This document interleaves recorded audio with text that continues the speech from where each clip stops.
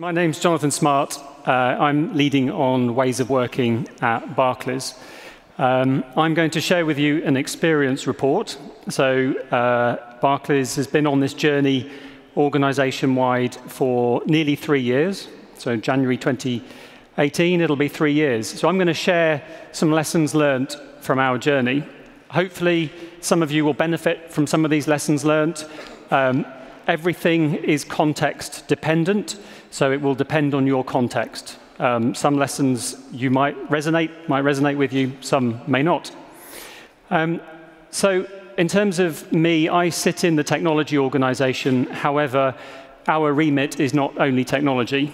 Uh, as Jean said, we are looking at impediments to flow across the whole organization. So that includes legal, finance, um, compliance, everything, everything, the systems thinking, the whole organization. So first of all, Barclays. Barclays is a financial services company. We're a universal bank. We have uh, investment banking, retail banking, corporate wealth, and Barclaycard. Uh, we are 327 years old. We were founded in 1690 in the City of London, uh, which was four years before the Bank of England existed, and it also makes us older than the United States of America. Um, and in our origins, we were founded by two goldsmiths.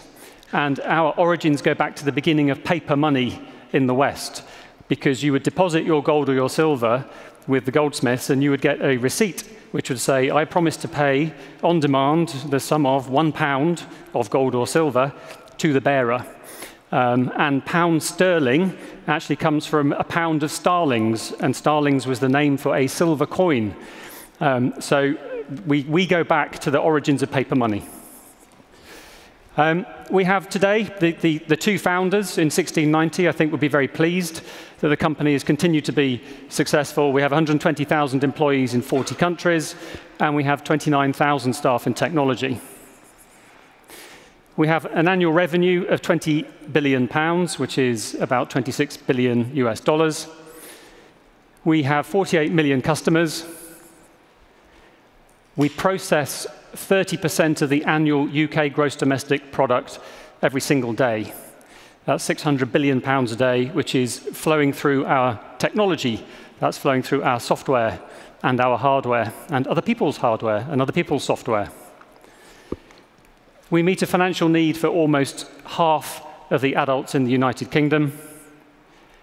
Every uh, one pound out of every three pounds is spent through Barclaycard. And like a number of you in this room, like a lot of industries, we're very highly regulated. So we have to have both speed and control. in fact, we have to have control because financial services is all about trust. We're looking after your money, ones and zeros on a disk somewhere. Um, so it's all about trust. We have to have control first and speed second. So lessons learned. I'm going to share six lessons learned um, and then I'm going to talk a bit more about how we're tackling speed and control. So the first lesson learned, if I could go back in time and I could speak to myself in January 2015, and I would say, John, do you want to scale agile? And of course I would say, yes, I want to scale agile. My advice would be don't. In order to scale agile, don't scale agile. Descale the work first. If you just take 200 people working in a traditional manner and you slap Agile on those 200 people, you will not get the outcome that you think you, want, you will get. You won't get a good outcome. Um, I know we've done it. We've learned from it.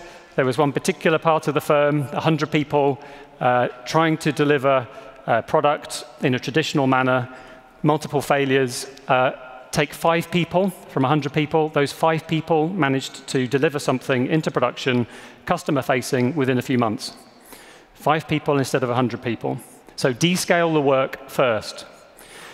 Achieve big through small. This is something I've learned in two and a half years. Achieve big through small. Have a big vision, have a big outcome. Be clear what you're doing, but then achieve it through small, small everything. Small investment, small team size, um, and small batch size, a small amount of work. So do a spike. Do a spike with a small team, with one customer, and just learn from that spike. To quote Dave Snowden, Dave Snowden uh, is one of the creators of Cynefin. Um, is anybody who here is familiar with Cynefin? Okay, so that's a disappointingly low number of hands going up. If you're not familiar with Cynefin, it's a Welsh word, C-Y-N F-I-C-Y-N-E-F-I-N. I highly recommend you go Google it and you go and watch some videos of Dave Snowden because it's very, very relevant. So to quote Dave Snowden, you don't scale a complex system by aggregation or imitation but by decomposition to an optimal level of granularity, followed by recombination in context. You don't scale by aggregation or imitation. You don't do the same. You do not have one size fits all. You don't slap one way of working on an organization because you will not get the desired outcome. You do not aggregate the same. Organizations are not homogenous. They are diverse, they are complex, they are different, and context is king. Do not try to do the same thing because you won't optimize for outcomes. So that's from Dave Snowden. Do you want to do an agile transformation? I would go back in time and I would say that to myself. I'd say, John, do you want to do an agile transformation? And I would say, yes, I want to do an agile transformation because that's my job. I'm being paid to do an agile transformation. What do you think I'd say to myself? Correct. Don't. To do an agile transformation, don't do an agile transformation. Focus on the outcomes. Focus on why. Simon Sinek, start with why. Why are you doing this? You're not doing it for the sake of Agile. You're not doing it for the sake of DevOps. You're doing it for a reason. And if you don't have a reason, don't bother. If you don't have competitive forces and you're making enough money and everyone's happy, don't waste your time. So understand why you're doing it. Focus on the outcomes. You will probably end up doing an agile transformation, but don't do it with agile transformation as the headline. It's not the opening act. For us, our outcomes that we're focused on are flow, quality, happiness, and value. That's what we're doing. We're focusing on flow, quality, happiness, and value. And these are the things we measure. I measure, we measure flow, lead time, throughput, flow efficiency. We measure quality, incidents in production. We measure happiness, colleague happiness, net promoter score, colleague net promoter score, and customer happiness, customer net promoter score, or other measures of feedback. And value, we, um, I will speak uh, a little bit later about value and how we look at value. And uh, there's a, a time decay element to value as well. So I surface metrics on these measures to the organization, to senior leadership. We focus on those, so it isn't about doing agile or doing DevOps for the sake of it. It's around How's your flow? How's your lead time? How's your quality? Any problems? Anything you want to improve? We have a toolbox, and in this toolbox, we have Agile, and we have DevOps, and we have Scrum, and we have Kanban, and we have Safe, Less, Nexus, Disciplined Agile. We have a whole bunch of tools in that toolbox. And it isn't a case of always using the same spanner. This is not a spanner transformation.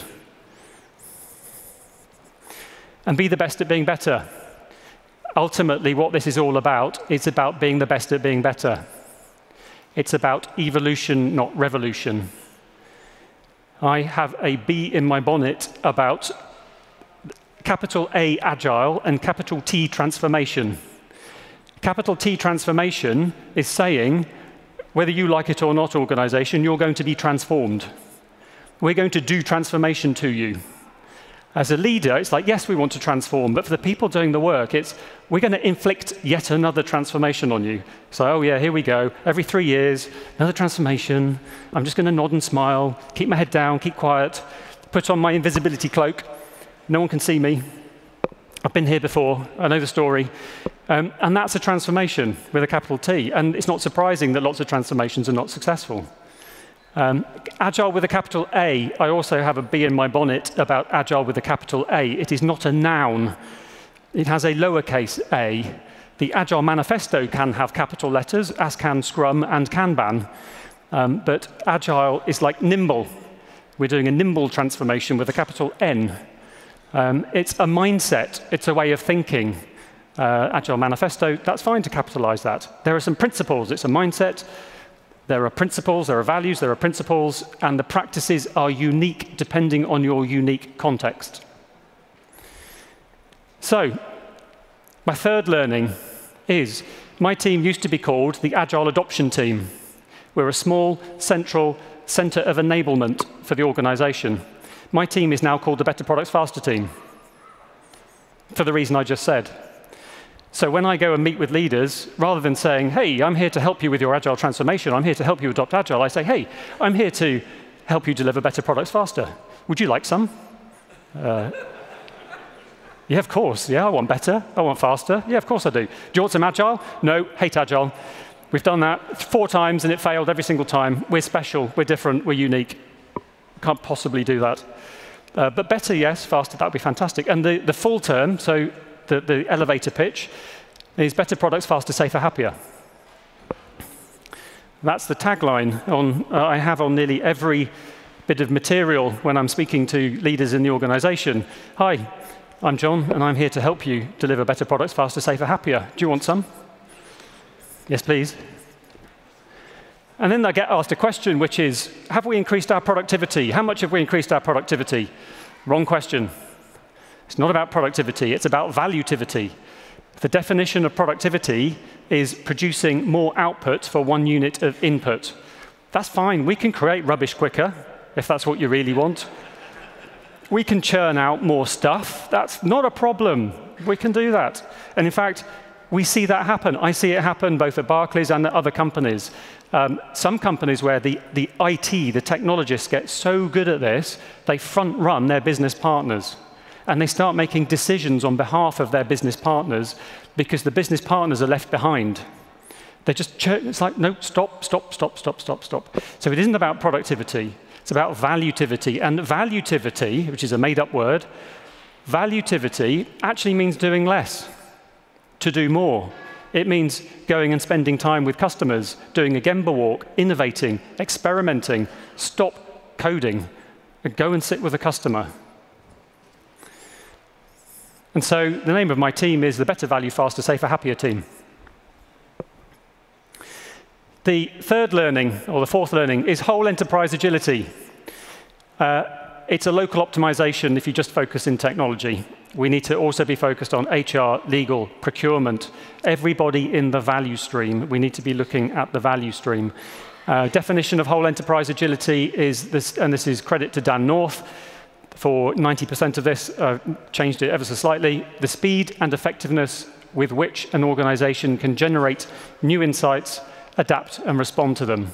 And it's the whole organization, not just technology, that needs to be able to do this and that generate new insights, that's really difficult.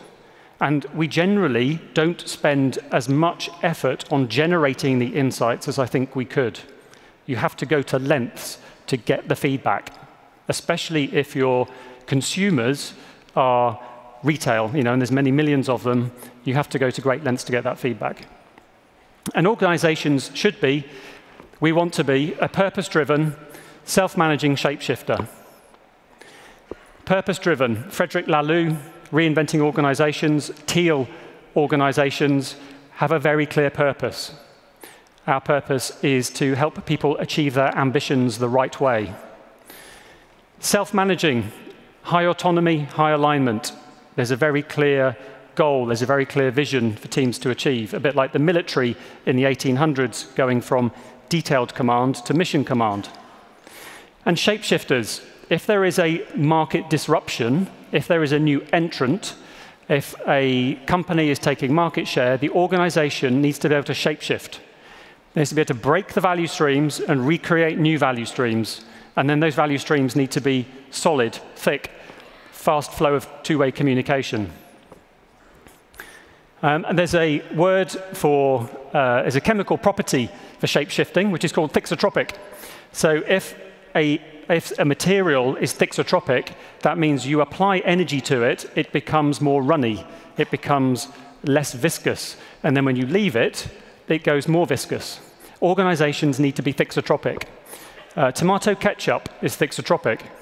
When you shake a bottle of tomato ketchup, it goes more runny. When you leave it, it goes harder. So organizations need to be more like tomato ketchup. The next learning, it's easier to act your way to a new way of thinking than to think your way to a new way of acting. Uh, this is from John Shook. John Shook was the first American manager at Toyota. And uh, this, is, this is what he observed. The old way of change would be to change thinking to change behavior. To put people on a training course, go on a two day certified Scrum Master course, come back, you've completely changed. Everything's magic. It's like magic. Wave a, wave a magic wand, and all of a sudden everyone's agile. But the system of work hasn't changed. What have we done? We focused on the workers, not the work. And as we know from Deming, that's the wrong way round. We need to be focusing on the work, not the workers. So effectively what this is saying is focus on the work, not the workers. Support the workers with capability building, with training, but we have to change the system of work. We have to change the system of work. A bad system, again, to quote Deming, a bad system will beat good people every single time. And I've seen it. I have witnessed this firsthand uh, in Barclays. And we made a mistake. We trained loads of people, and we didn't change the system of work. And then we realized our mistake, and now we started to change the system of work. Um, my sixth learning is use the force, Luke. Um, this is the Kubler-Ross curve. It's a J curve. Use the force. Feel where you are on that curve. This could be a department, it could be a team, it could be an entire business. But you will be somewhere on that curve. You could be in the honeymoon point at the top. If you're at the top and you're in the honeymoon part of that curve, make the absolute most of it. Ask your senior leaders to come out and talk, get as much investment as you can to help support the capability building. Um, or you might be in crisis down at the bottom when you realize this is actually very difficult and you're struggling and you might be thinking, oh, I'm not sure this is for us, I'm not sure we can do this. Um, there's a saying I like, which is impediments are not in the path, impediments are the path. For what we do, for achieving flow, impediments are the path. It's theory of constraints. It's you fix your biggest impediment, you find the next one. And it's been interesting for me as I've been attending talks over these three days, I've been hearing quite frequently legal, finance are an issue. And we're starting to, you know, in terms of um, DevOps as a metaphor, uh, we're starting now to, to see the constraints in portfolio management, in budgeting, in finance. Um, for me, finance is a, is a, a big frontier for agility. Um, so now I'm going to talk about how we balance speed and control and how we balance information security, compliance, audit, anti-money laundering, fraud with speed. And I'm also going to talk about lean portfolio management. So this is how we do the thing right and how we do the right thing. So first of all, lean control. Now, we call it lean control. That's our name for it. Do the thing right. This is, this is how, we have, uh, how we have both speed and remain compliant to regulation and control. And we play a game with our control professionals. So we'll set up a session. It's the cows in the meadow game.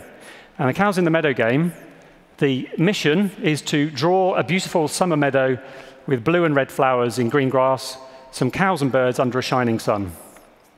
And you're split into two teams or two sets of teams. And one set of teams work in an agile manner, and another set of teams work in a traditional manner. Let's have a look at some of the output. So, there's two pictures. Which one do you think is better?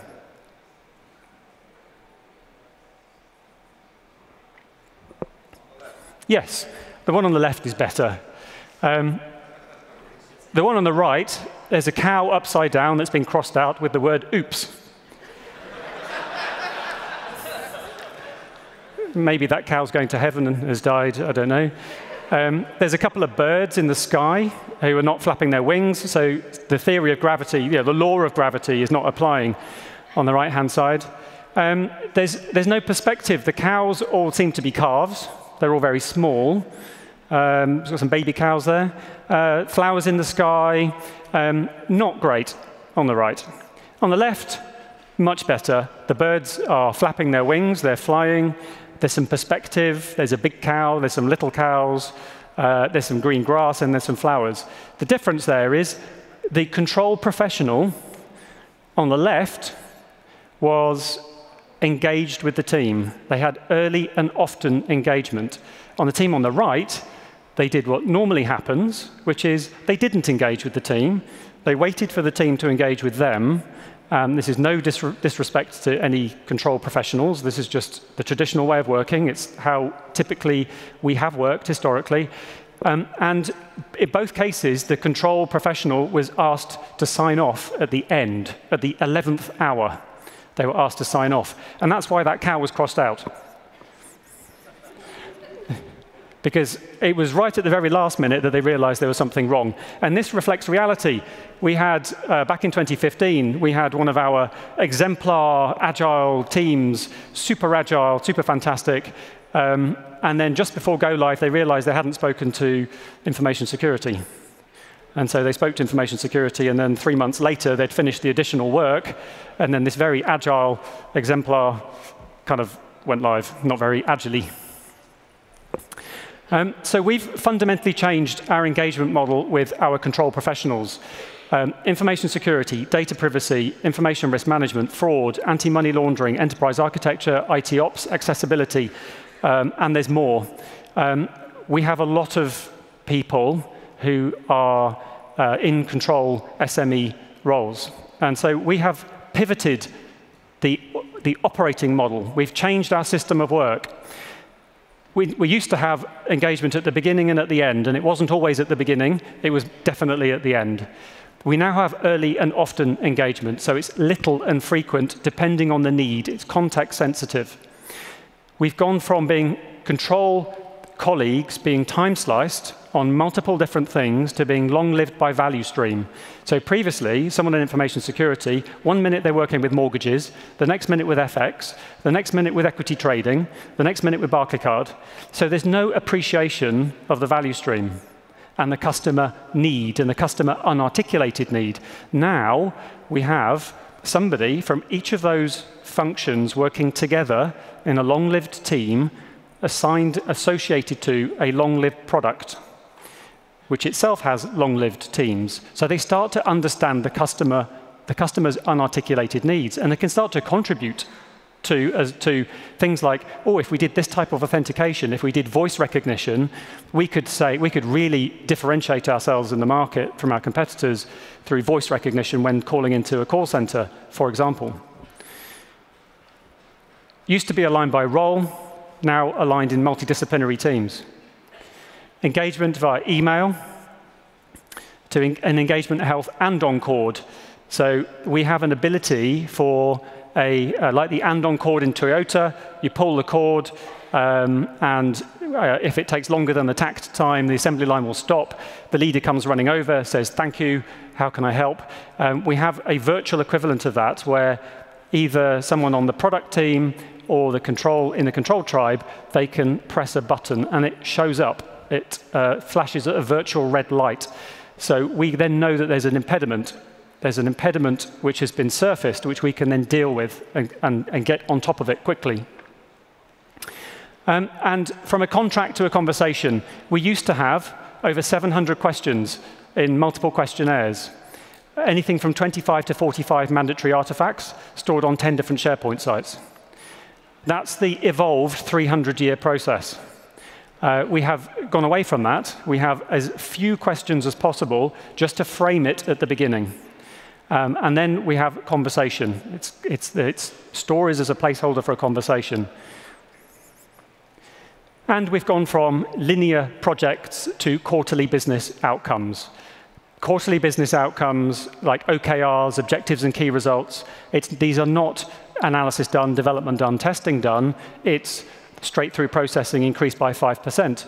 Number of click-throughs on the website increased by 10%. It's articulated as a business outcome, and that is the unit of conversation. What are you trying to achieve in your quarterly business outcome? Let's have a conversation around risk and control on your product, which I now know a lot about because I've been associated to it for a long time, and what you're trying to achieve. And I will give you context, unique advice. We have a lean control tool that we've implemented to support the people, the process, to the tooling. So it's in that order, people first, then process, then tooling. And we have a tool which supports this way of working. And this is across the whole firm, uh, across um, everything that we do to do with change. We have a menu of risk stories. One of the problems we had previously is we have more standards in the bank than we have years of existence. How, how can anybody possibly comprehend everything they need to do for a given binary? Um, and we have now codified that, and this includes regulation as well, so things like GDPR, um, and as well as our internal controls. Um, it, was, it was possible to do it before, and we did it before, but it was very time consuming, it was very inefficient, it was very difficult. So by making it easier, we're increasing the likelihood that control effectiveness has gone up.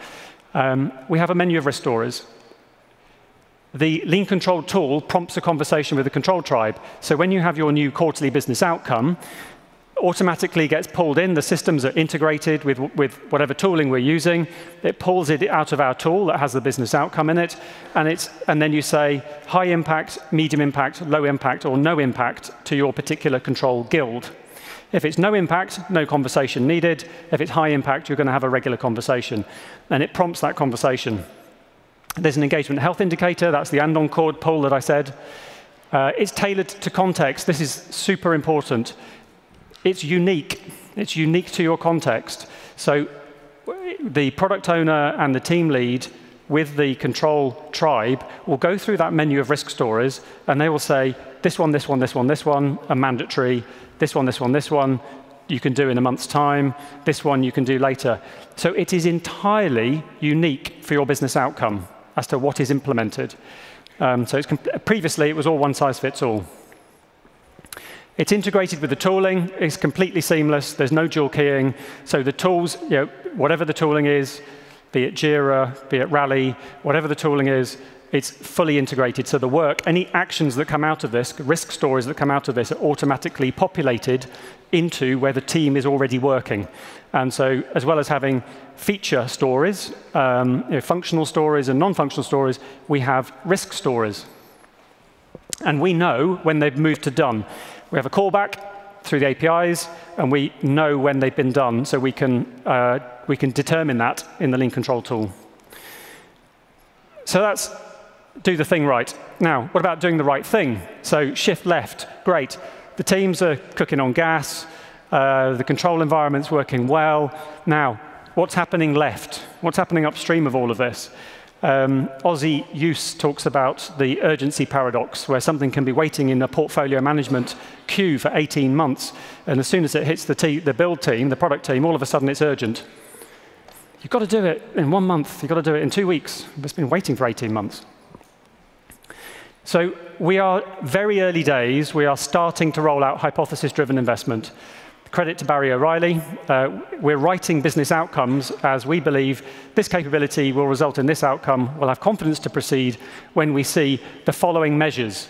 And we are measuring these. We have uh, KPIs, uh, typically lagging indicators. So click-throughs on the website, customer net, you know, net promoter score for customers, specific measures on our business outcomes. We are pivoting, very early days, we're pivoting to quarterly business outcomes over milestones. So again, instead of analysis done, development done, testing done, it's a business outcome. It's rolling wave over annual. We're doing quarterly rolling wave planning, quarterly rolling wave pivoting. We are able to build in learning and optionality over a sunk cost fallacy. Previously, annual planning, this is your budget for the next year. It takes us six months to work out what the next year's budget's going to be with multiple rounds of planning, and then it's almost unchangeable. Um, so we're, we're changing that um, and uh, making it more changeable, more adaptive, able to pivot. It's an incremental build of a business case. So more like an internal VC model, Series A, Series B funding. So the first business case is a lightweight business case, back to achieve big through small. Here's a small amount of funding. Go and run some experiments. Go and do some spikes. If that all looks good, then we'll give you more money. And Obeya rooms. Obeya rooms is to do with visualizing the work. Um, and I'll, give, I'll, show you an example. This is an Obeya room. This is Barclays Partner Finance in Cardiff, in Wales. And on that wall, you can see everything from the CEO's top five priorities. There's an A3 printout on the wall. You can see them broken down into business outcomes. You can see them broken down into features. And then you can see on the, on the far right-hand side the teams that have pulled a feature to work on. And you can see burn-ups. And that enables a team, anybody, can go and stand in there, and they, they've got lineage. They can link their story they're working on all the way back up to a CEO top five priority. And you can just stand in there on the, on the right-hand wall that you can't see in the picture. There's a whole bunch of cumulative flow diagrams. And you can instantly see the health of the system or any impediments in the health of the system. Here's the help I'm looking for.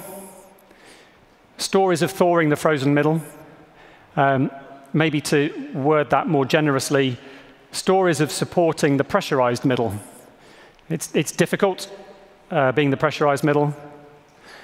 Stories of lean portfolio management. I'm interested. You know, please get in touch if you've done what I've been talking about. Like I said, it's early days for us. This is our path. We're experimenting on this. If you're two years down this journey, um, I'd love to hear from you. And stories of flow efficiency. So we're, you know, we, we, we now accurately measure lead time from pulling off the backlog to into production. Um, and I want to go, I want to improve on that, and I really want to start to measure flow efficiency uh, a little bit more than we're doing currently. So with better brakes, this bobsleigh can go faster. With better control, we can go faster. Thank you.